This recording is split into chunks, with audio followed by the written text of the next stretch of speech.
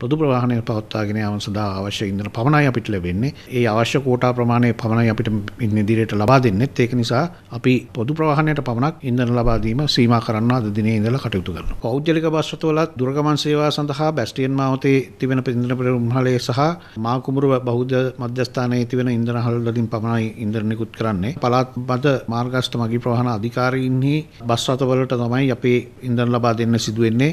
ඩිපෝමට්ටමින් මේ වනොට අපි කොළම දිස්ත්‍රික්කය තුළ ශ්‍රී ලංකා ගමනාගමන මණ්ඩලේ ඉඳන හල්වලට විශේෂ පරිගණක පද්ධතියක් හඳුන්වලා දීලා තියෙනවා. ඒ අනුව එක් ඉන්ධන අහලකින් ඉන්ධන ලබා ගත්තට පස්සේ අදාළ දවස් ප්‍රමාණය අවසන් වන තෙක් වෙනත් කිසිම ඩිපෝවක ඉන්ධන අහලකින් ඔවුන්ට ඉන්ධන ලබා ගැනීමට හැකියාව නැහැ.